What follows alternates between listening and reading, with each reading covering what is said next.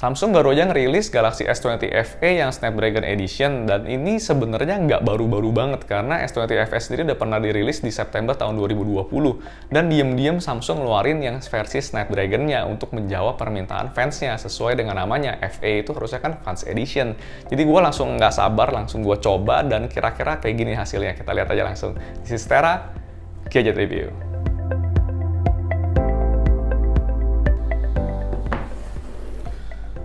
Ya, jadi seperti ini dusnya yang S20 FE yang versi Snapdragon ini karena handphonenya warna putih jadi dusnya juga warna putih di sini jadi ngikutin warna handphonenya.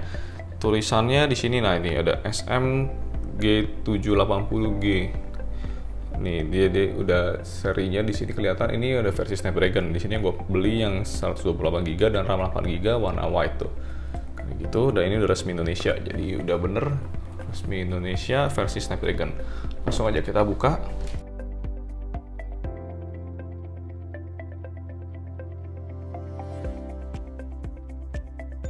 Seperti biasa ada SIM ejector.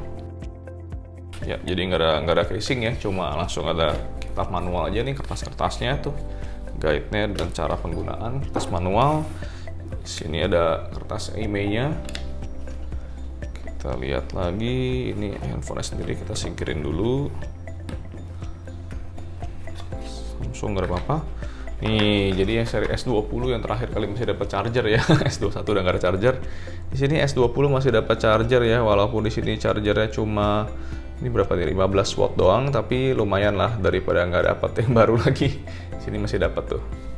Terus juga ini masih dapat ya ini kabelnya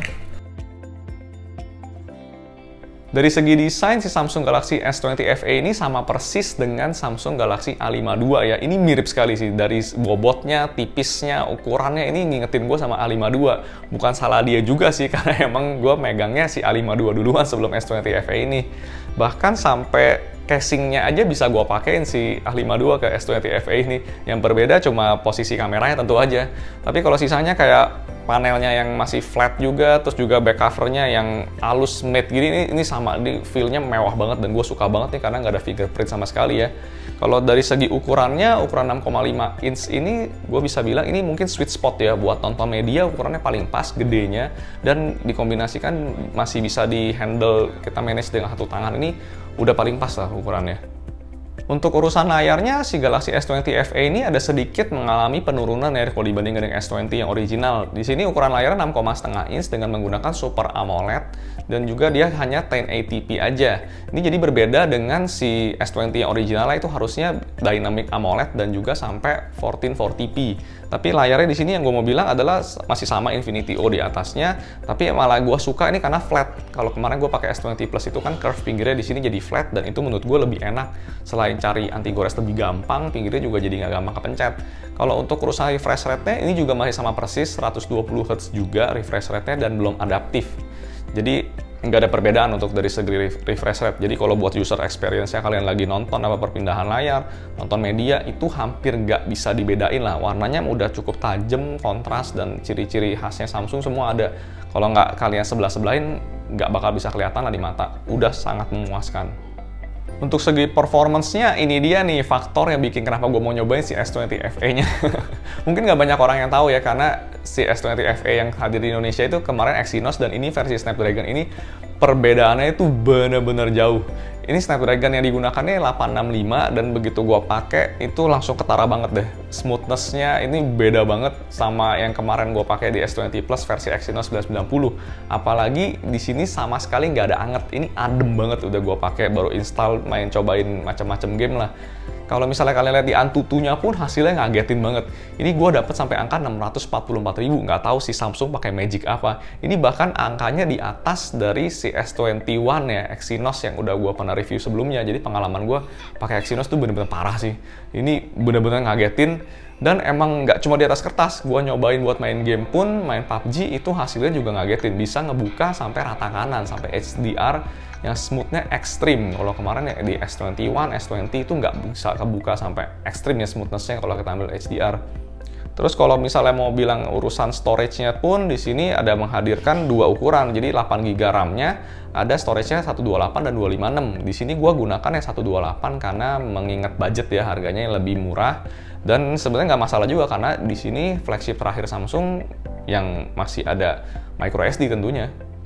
Untuk urusan baterainya di sini si Galaxy S20 FE ini masih menggunakan ukuran baterainya 4500 mAh. Ini gue nggak bisa bilang banyak ya karena gue baru pakai handphone ini 1-2 hari aja dan ini masih learning usage pattern. Jadi belum bener-bener aslinya belum kelihatan nih baterainya sebenarnya kayak apa. Cuma dari beberapa hari ini gue bisa kasih lihat ke kalian bahwa gue pakai handphone ini tuh sampai jam 9 malam itu masih dapat sekitar 30 persenan baterainya. Buat gambaran aja kalau S20 Plus kemarin itu gue selalu kalau pakai normal itu di 20% itu udah low bed itu sekitar jam 7 malam. Kalau di sini sekitar jam 9 malam lah kalau mau sampai benar-benar low bed. Dan kalau misalnya di S20 Plus kemarin itu kalau mau capai screen on time sampai 5 atau 6 jam itu kalian harus micromanagementnya satu-satu di kutak-atik tuh. Kalau di sini nggak usah pakai micromanagement Bixby rutin, begitu out of the box install macam-macam udah pasti tahan sampai jam 9 malam lah atau SOT-nya udah 5-6 jam. Jadi ini gampang banget, itu udah langsung kerasa bedanya mungkin emang nggak terlalu begitu beda karena emang screen refresh rate 120 Hz ini menguras tenaga banget sih karena kan belum adaptif juga. Tapi di sini yang gue mau bilang lagi adalah ini karena flagship ya, ini bukan mid range. ini beda sama 52. Jadi selain chargernya mendukung sampai 25 watt, ini juga ada fast wireless charging sampai 15 watt. Aduh gue suka banget fast wireless charging pokoknya di bagian softwarenya ini dia nih kenapa gue merekomendasikan si Samsung S20 FE ini ya kalau dibanding dengan HP mid-range-nya Samsung lainnya. Karena dia ada fitur flagship yang nggak ada di HP mid-range yaitu tentu aja ada IP ratingnya dan juga dia bisa digunakan sebagai Samsung DeX kalau yang gua paling kepake itu sebenarnya sih kamera mode-nya. Jadi ini kamera mode-nya bisa dipakai di Pro Video. Kalian pakai bisa Galaxy Buds itu sebagai mikrofon untuk rekam. Nah itu gua suka banget. Itu masih nggak ada di handphone Mid walaupun udah One UI-nya 3,1 ya. Jadi kalau out of the box si handphone Samsung ini pun One UI-nya dapatnya 3,0 tapi bisa di-upgrade sampai 3,1 dengan Android 11. Nah, ini skinnya memang Samsung gue nggak komentar lah, itu udah salah satu yang terbagus dan ini jadi handphone Android non pixel yang gue paling suka ya untuk skinnya. Tapi yang gue sayangin di sini adalah nggak adanya Google Fit. Jadi si Samsung karena out of the box-nya 3,0 One UI-nya, jadi cuma adanya yaitu Samsung Free yang gue sama sekali nggak pakai. Untuk bagian kameranya di sini Samsung Galaxy S20 FE ini ada sedikit perbedaan dengan si S20-nya ya. Jadi kalau dari segi desain ini masih sama aja, persegi panjangnya di belakang dan ini menggunakannya hanya triple kamera aja ya yang si S20 FE. Jadi untuk lensa utama 12 megapiksel, lensa telefotonya ini jadi cuma 8 megapiksel aja. Ini berbanding kalau di S20 yang seri aslinya itu 64 megapiksel. Kalau ultra wide pun masih sama 12 megapiksel. Nah, jadi kalau buat kameranya sehari-hari kalian pakai ngambil gambar atau ngambil video itu hampir nggak ketemu perbedaan lah karena emang ujung-ujungnya juga yang bermain di sini kan si prosesornya Snapdragon-nya ya. Dan juga di sini tetap aja ada OIS karena ini handphone flagship. Yang gue mau bilang mungkin perbedaannya itu kalau kalian orang yang menggunakan si lensanya 64 megapiksel ya jadi kalau kalian yang suka jepret 64 megapiksel full itu kalian habis foto bisa kalian crop dan itu gambarnya nggak pecah. Kalau di sini karena lensanya nggak sebesar itu megapikselnya jadi ada penurunan lah kalau kalian harus sampai nge-crop foto dari ukuran gede ya. Itu pun kalau kalian yang suka pakai fitur full 64 megapiksel kalau gue sih jujur nggak kepake. Jadi gue pilih ini aja udah menurut gue hampir nggak bisa bedain kok hasil kualitas fotonya. Ini perekaman dengan kamera depannya S20 FE sambil jalan. Tuh lagi anak jalan-jalan. Lari kayak gini hasil kualitasnya nah kalau ini perekaman kamera belakangnya sama juga 1080p 30 fps tapi super steady nya di on kita coba sambil lari Tuh hasilnya. Dengan adanya si Samsung Galaxy S20 FE ini, Samsung menghadirkan flagship quality handphone ya di harga mid-range. Ini sih bener-bener gila banget. Dan harganya itu yang 128GB itu gue dapat di angka 7 jutaan, persisnya 7,8 juta. Jadi ini bener-bener jadi handphone yang gue sangat rekomendasiin ke kalian ya. Kalau kalian emang lagi nyari handphone budget di atas 5 juta. Ini bener-bener fiturnya itu nggak ada yang disunat sama sekali. Bener-bener fitur flagship dari Samsung Dex-nya terus juga dia punya ada IP rating, wireless charging pokoknya semuanya udah the best lah. Bahkan performance-nya itu jauh banget di atas versi Exynos ya bahkan di X, S21 sekalipun kalian bisa lihat sendiri.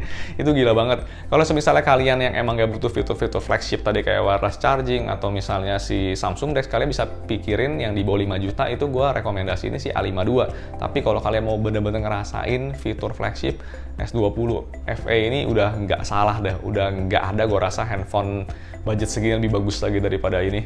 Kalau misalnya bilang kekurangannya mungkin satu-satunya gue bisa bilang ini mungkin karena belum ada 5G ya. Jadi di sini masih baru 4G aja. Itu cukup disayangkan tapi ini memang karena handphone tahun lalu ya.